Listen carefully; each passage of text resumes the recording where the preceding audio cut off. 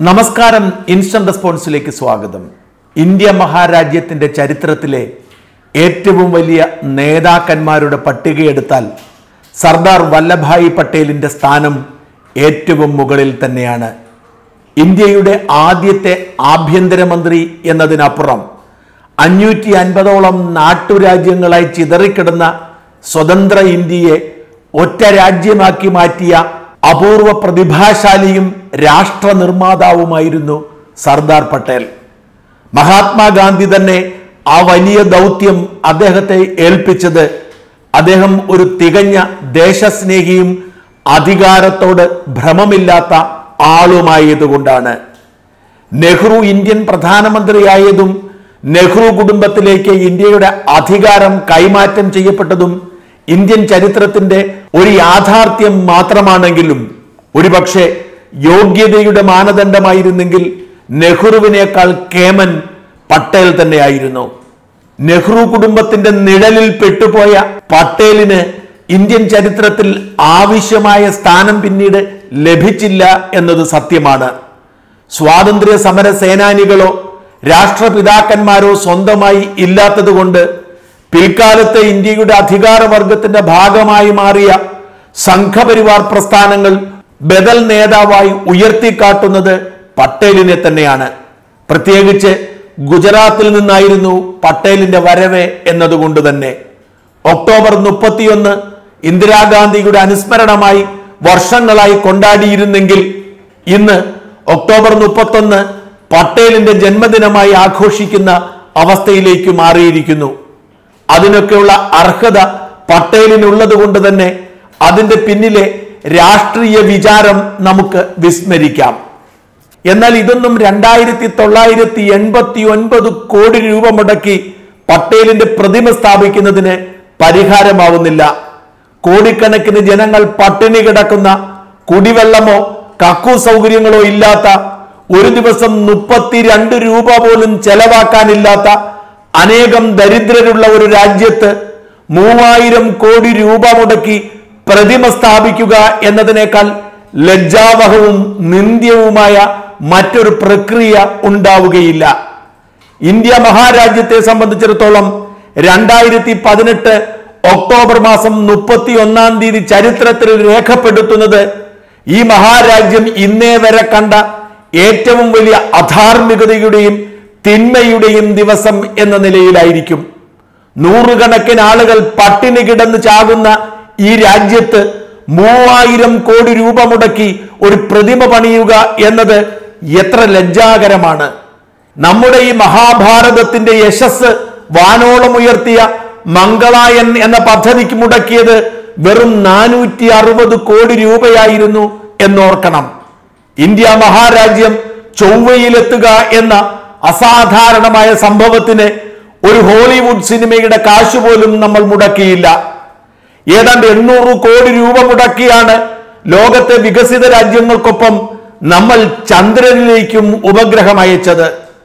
അമേരിക്കയെയും ബ്രിട്ടനെയും പോലുള്ള രാജ്യങ്ങളെ അസൂയപ്പെടുത്തുകയും ചൈനയെയും പാകിസ്ഥാനെയും പോലുള്ള രാജ്യങ്ങളെ ഭയപ്പെടുത്തുകയും ചെയ്ത അസാധാരണമായ നേട്ടവുമായി താരതമ്യം ചെയ്യുമ്പോൾ എങ്ങനെ നമുക്ക് ലജ്ജിക്കാതിരിക്കാൻ സാധിക്കും? മൂവായിരം കോടി രൂപ മുടക്കി പട്ടിണിപ്പാവങ്ങളെ അവഗണിച്ചുകൊണ്ട് പ്രതിമ സ്ഥാപിച്ചുകൊണ്ട് പ്രതാപം കാട്ടാൻ നമ്മുടെ രാജ്യം ശ്രമിക്കുമ്പോൾ സാധാരണക്കാരനായ ഒരു പൗരൻ എന്ന നിലയിൽ ഞാനും നിങ്ങളുമൊക്കെ ലജ്ജിച്ച് തല താഴ്ത്തേണ്ടി വരുന്നു. ഇന്ന് ഇന്ത്യയിൽ ഇറങ്ങിയ ഒട്ടുമിക്ക പത്രങ്ങളിലും ഈ മഹാപാതകത്തിന്റെ പരസ്യമുണ്ട്. ചൈനയിലെയും മ്യാൻമാറിലെയും റഷ്യയിലെയും ജപ്പാനിലെയും തായ്ലൻഡിലെയും ഒക്കെ ബുദ്ധപ്രതിമകളുമായി താരതമ്യം ചെയ്തുകൊണ്ട് ഇന്ത്യ മഹാരാജ്യത്തിന്റെ ഐക്യം ഊട്ടിയുറക്കുന്നതിന് വേണ്ടി നമ്മൾ ഉണ്ടാക്കിയിരിക്കുന്നതാണ് എന്നാണ് മോദി സർക്കാർ നൽകിയ പരസ്യത്തിൽ പറയുന്നത്. എന്നാൽ ഇത് ഐക്യത്തിന്റെ അല്ല അപമാനത്തിന്റെ പ്രതിമയാണ് എന്ന് പറയുന്നതിൽ ഒരു ഖേദവും എനിക്കില്ല. രണ്ടായിരത്തി പന്ത്രണ്ടിലെ കണക്കനുസരിച്ച് ഏതാണ്ട് ഇരുന്നൂറ്റി എഴുപത്തിയാറ് ദശലക്ഷം ജനങ്ങളാണ് ഇന്ത്യയിൽ പട്ടിണിപ്പാവങ്ങളായിട്ടുള്ളത് എന്ന് വെച്ചാൽ എൺപത് രൂപ പോലും ഒരു ദിവസം എടുക്കാൻ ശേഷിയില്ലാത്തവർ. ഒരു ദിവസത്തെ വരുമാനത്തിന്റെ കണക്ക് ഇരുന്നൂറ് രൂപയാക്കിയാൽ ഇന്ത്യയിലെ ജനങ്ങളിൽ അറുപത് ശതമാനം പേർക്കും ഇന്നും അതുണ്ടാക്കാനുള്ള ശേഷിയില്ല. നമ്മൾ ഇരുന്നൂറ് രൂപയെ കുറിച്ച് പറയുന്നത് ലോവർ മിഡിൽ ക്ലാസ് എന്നാണ് ഇന്ത്യയുടെ കണക്കനുസരിച്ച്. അങ്ങനെ ലോവർ മിഡിൽ ക്ലാസ്സിൽപ്പെട്ടവർ അതായത് ഒരു ദിവസം ഇരുന്നൂറ് രൂപ കയ്യിലെടുക്കാൻ ഇല്ലാത്തവരാണ് ഇന്ത്യൻ ജനസംഖ്യയുടെ അറുപത് ശതമാനം പേർ. നാലു വർഷം മുൻപ് ദാരിദ്ര്യരേഖയുടെ നിർവചനം മാറ്റാൻ വേണ്ടി നമ്മുടെ സർക്കാർ മുൻപോട്ട് വെച്ച പദ്ധതി അനുസരിച്ച് ഒരു മാസം തൊള്ളായിരത്തി എഴുപത്തിരണ്ട് രൂപ ഗ്രാമപ്രദേശങ്ങളിലും ആയിരത്തി നാനൂറ്റി നാല് രൂപ പട്ടണ പ്രദേശങ്ങളിലും ഉള്ളവർ സമ്പന്നരാണ് ദാരിദ്ര്യരേഖയ്ക്ക് മുകളിലുള്ളവരാണ്. എന്നാൽ ഇന്ത്യൻ ജനസംഖ്യയുടെ ഇരുപത് ശതമാനത്തിൽ താഴെ ഇക്കൂട്ടത്തിൽ പെടുന്നവരാണ്. അവരോടുള്ള വെല്ലുവിളിയാണ് അവരുടെ മുഖത്ത് നോക്കിയുള്ള കാർക്കിച്ചു തുപ്പലാണ് ഈ പ്രതിമ. ഇന്ത്യയിലെ വിവിധ ചേരികളിലായി മുന്നൂറ്റി അറുപത് ദശലക്ഷം ആളുകളാണ് കഴിയുന്നത്. ചേരികളിൽ ഒരിക്കലെങ്കിലും പോയിട്ടുണ്ടെങ്കിൽ നിങ്ങൾക്കറിയാം എത്ര നീചവും നികൃഷ്ടവുമാണ് അവിടുത്തെ സാഹചര്യമെന്ന്. കുടിവെള്ളമോ ശുചിത്വ സൗകര്യങ്ങളോ ഒന്നുമില്ലാതെ ഓലയും ടാർപോളിനും ഇട്ട് കെട്ടിമറച്ച കുടിലുകളാണ് ഇവയൊക്കെ. അവിടെ താമസിക്കുന്നവർക്ക് ഭക്ഷണം പോലുമില്ല. ആ ജനങ്ങളുടെ ദാരിദ്ര്യം മാറ്റുന്നതിന് പകരം ചേരി നിർമ്മാർജനം നടത്തുന്നതിന് പകരം മൂവായിരം കോടി രൂപ നമ്മൾ പ്രതിമ സ്ഥാപിക്കാൻ ചെലവാക്കിയിരിക്കുന്നു. തൊണ്ണൂറ്റിയെട്ട് മുതൽ രണ്ടായിരത്തി പതിനാല് വരെയുള്ള പതിനാറ് വർഷത്തെ കാലയളവിൽ ഇന്ത്യയിൽ ആത്മഹത്യ ചെയ്തത് മൂന്ന് ലക്ഷം കർഷകരാണ്. അതിൽ മഹാഭൂരിപക്ഷവും മഹാരാഷ്ട്രയിൽ നിന്നാണ്.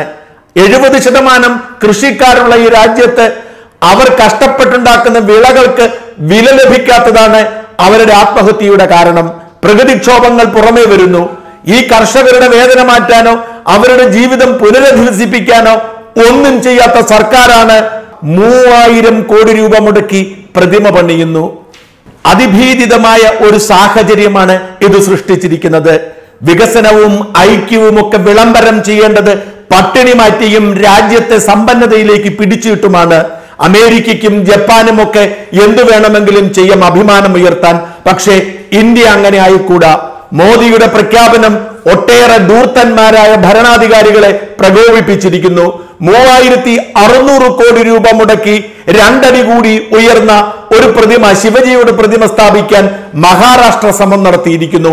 ആയിരം കോടി രൂപ മുടക്കി ആനകളുടെ പ്രതിമയുണ്ടാക്കി ഇന്ത്യ മഹാചരിത്രത്തിലെ ദൂർത്തിന്റെ ആദ്യത്തെ അടയാളം ഉണ്ടാക്കിയത് മായാവതിയായിരുന്നു.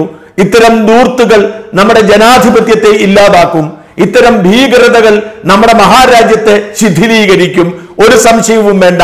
നർമ്മദയുടെ തീരത്ത് നിന്ന് അണക്കെട്ടിന് വേണ്ടി ഇറക്കി വിട്ട ആയിരക്കണക്കിന് ആദിവാസികൾക്കും പാവങ്ങൾക്കും ഇന്നും അഞ്ച് നയാ പൈസ കൊടുത്തിട്ടില്ല. ഒരു മാധ്യമ പ്രവർത്തകൻ എന്ന നിലയിൽ ഏതാണ്ട് ഇരുപത് വർഷം മുൻപ് നർമ്മദയുടെ കണ്ണുനീർ നേരിട്ട് അനുഭവിച്ചവനാണ് ഞാൻ.